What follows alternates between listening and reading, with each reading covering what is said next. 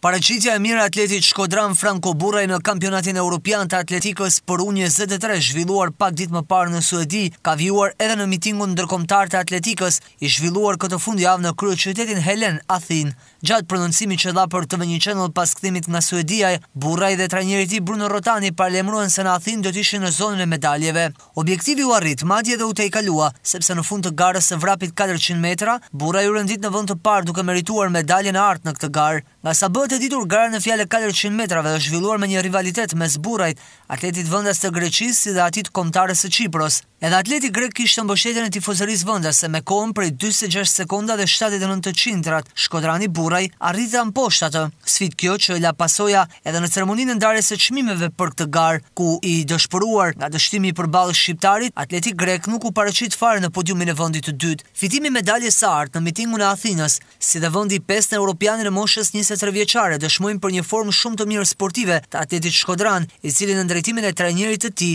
synon të vijojë përmirësimin e rekordit kombëtar të kësaj gare, që mbahet po nga kampioni Burraj.